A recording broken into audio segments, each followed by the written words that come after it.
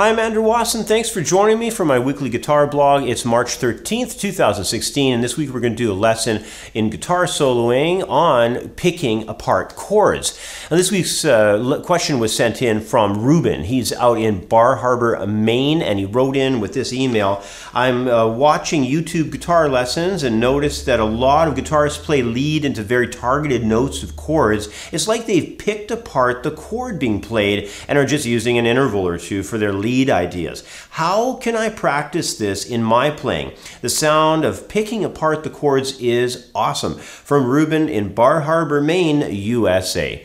Well, thanks a lot for writing in, Ruben. You know, whenever a uh, series of chords uh, is moving along, you know, creating a progression, we can perform a basic guitar solo on it by just playing into the chord tones. Now, this is a technique often called picking apart chords, or, you know, I had a teacher when I was going to Musicians Institute, used to call it chord sandwiches, and it works by just playing into specific chord tones, uh, doing it all in a very simple way. Uh, is uh, you know just really doing it in a direction of using intervals. It's uh, really basic. You're using the intervals of the chords uh, that are going on at the very moment. You know, so I'll, it's just the chords are already playing uh, from the rhythm guitar part, and all you do is pick apart through that chord the different intervals, like the major third, minor third, perfect fifth. You can even add on uh, extensions like 13 or 11 or a ninth. So it's really kind of an interesting way of messing around with chord shapes and targeting right into the chord tones of the moment.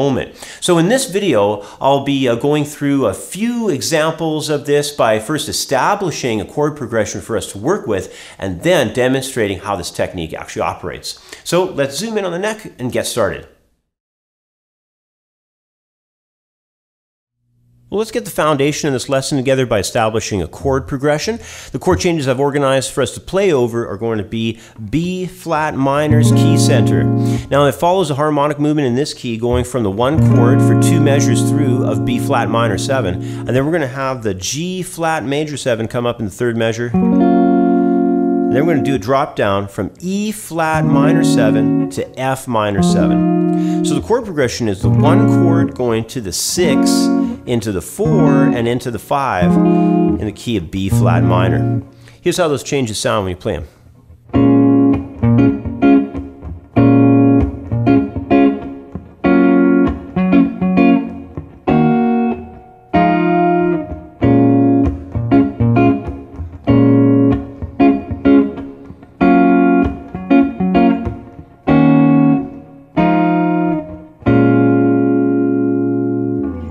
Right, so that's the playthrough the progression. We're going to take a quick break, come back in a moment, and we're going to go through that cycle of picking apart the chords method and uh, break down some intervals so we can create a melody over those changes.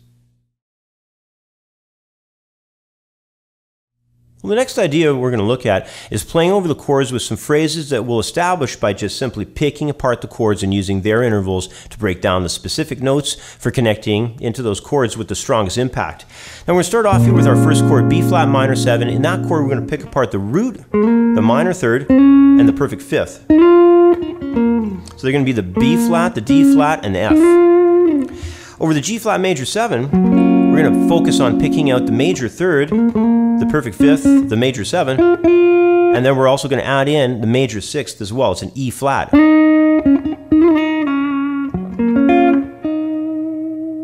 So those tones again, B flat, D flat, F, and the E flat over top of the G flat major 7. Now last two chords are going to be E flat minor 7 and F minor 7, and we're going to be covering those with their minor third. So um, that's on the E flat minor third for E flat. right? And then also on the E flat, we're going to add in perfect fourth. So that perfect fourth up top there is going to be ninth fret of second string. And then that other tone, the E, the G flat, that's going to be on uh, the uh, seventh fret of second string. Then on the F minor seven chord, that chord we're going to go for the root and the minor seventh. So the root is going to be the F, and then the minor seventh is going to be that E flat. So sixth fret on second string and eighth fret on third string. Right now I have those chord changes in the pedal, uh, the loop pedal, and I'm going to fire that up and just play the uh, melody down that I came up using uh, just those intervals only. Here's how it sounds.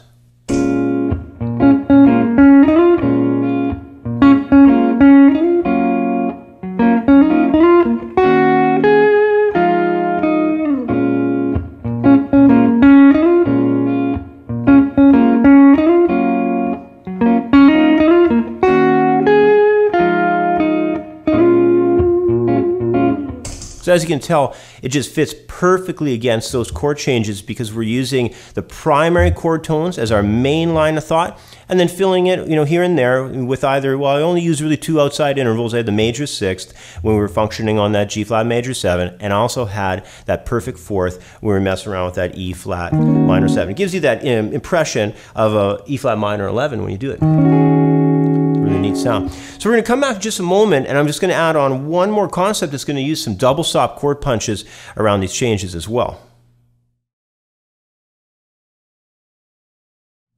Well, as you can tell, this concept of picking out intervals from the chord movement and then using the intervals as a way to build simple lines over the changes can work really effectively. And, you know, if extended intervals are also brought into the mix, the flow of the line can become even better sounding. But there's still one more way to expand upon this idea, and that's by adding in a matched interval applied through double stops. And this is a particularly effective strategy because that two note chord sound can be a really cool, punchy way to help your guitar, you know, shoot through the mix a little bit better, especially if you're playing with a lot more instruments, maybe even live or so forth. And this is a particular effective strategy uh, that can be used with uh, a specific interval. I'm going to be doing this and mess around with thirds so you can really hear how it establishes itself and builds up to a bigger sound by just adding that extra interval on top of the line. I'll be working with thirds for the example here, but you know, you could certainly work on other intervals as well. You could just experiment, you know, see what you can come up with. But uh, here's how my thirds double stop idea sounds.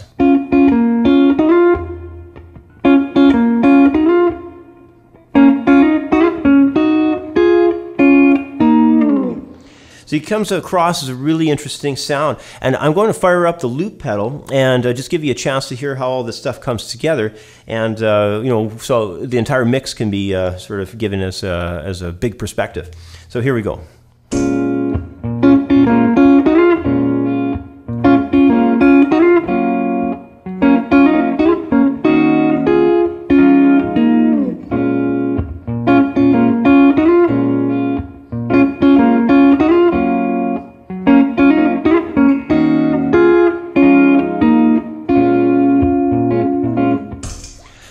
As you can tell, when you build those thirds inter intervals together and, uh, you know, just mess around with the whole line where you're getting a little bit more movement out of it with the fact that the sound has been built up. You know, it's a little bit bigger sound, a little bit warmer, a little bit fatter tone out of that.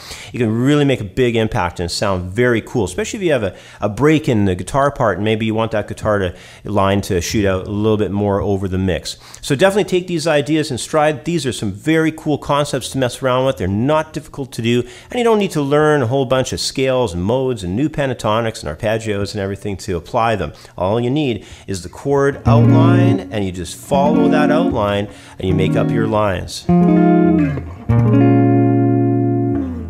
Well, any chord progression can be analyzed for its individual intervals and then have those intervals applied within a lead guitar part. The lead line will always function very strong when the chord tones are used to compose the primary melody line. And as we saw with my examples, the use of extended tones will also come into play, creating additional intervals that can help blend chord tones around the melody uh, picked from the chords, of course. Uh, all in all, this can be be an excellent technique uh, to study and one that doesn't rely off of learning any new scale layouts or arpeggios. Uh, the chord voicing will give you everything required to build your lead parts from there.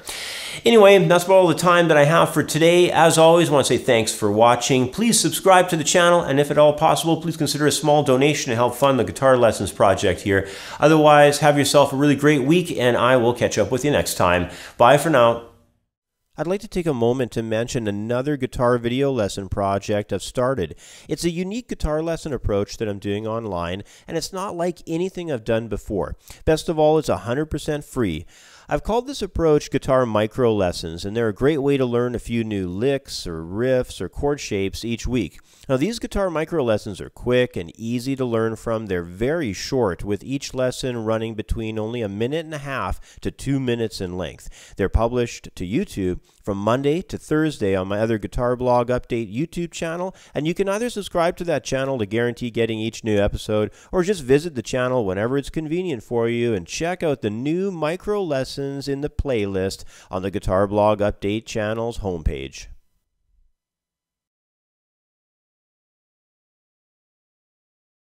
If you're interested in learning faster, making better use of your time, and practicing longer, the Accelerating Your Learning Curve ebook is for you.